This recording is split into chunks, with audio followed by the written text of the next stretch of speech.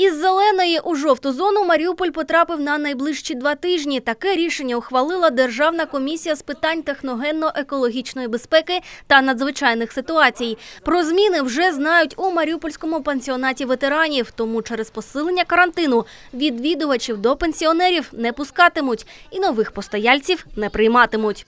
неважно на платной основе, либо на бесплатной, пока бережемся, пока соблюдаем все эти меры предосторожности, приема нет. Усього в закладі живуть 100 літніх маріупольців. За територію пансіонату не виходять, але часто відпочивають на подвір'ї. Свято попри карантин. До Дня людей похилого віку у пансіонаті проводять конкурс. Та спілкуватися з учасниками нам заборонено. Зараз ці маріупольці у зоні ризику. При перших симптомах ізоляція і виявлення контактних осіб в установі кажуть, за підопічними цілодобово стежать медики. Такого алгоритму дотримуються і в територіальних центрах для літніх людей. Від сьогодні туди також прохід закритий. А установи, в яких обслуговують пенсіонерів, працюють виключно за попереднім записом, кажуть у профільному департаменті. Відвідувати е, ці установи виключно в той час, який необхідно. На сьогоднішній е, день територіальні центри відвідувачів не приймають, так як і пансіонати ветеранів.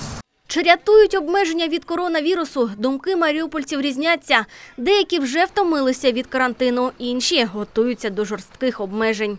Ограничивая, не ограничивая, но у меня страх внутри, то это ничего не поможет. Должно, я считаю, страха не должно быть внутри. чтобы не выходить из дома, сидеть. Вот поэтому и хожу с, с сумками. Пані Любов також вважає, що карантин можуть посилити. Готовимся к этому, что могут усилить. Такое мнение. Это только от людей зависит. Следить за собой. Про необхідність дотримуватися всіх заходів безпеки наголошують і у міськраді. Мы надеемся, что в ближайшее э, время даже та динамика, которая сегодня есть в 14 днях, она будет снижаться. Мы сегодня с вами должны максимально прилагать усилия да, э, своего личного участия, то есть уважение, одеть маску, одеть обязательно ее в транспорте. Там, где закрытые пространства, там наиболее э, зона риска. І вже через два тижні спеціальна комісія знову ділитиме країну на карантинні зони. Головний критерій – кількість нових хворих на 100 тисяч населення. Валентина Чурікова, Артем Карабецький. Інформаційна програма «Дзеркало».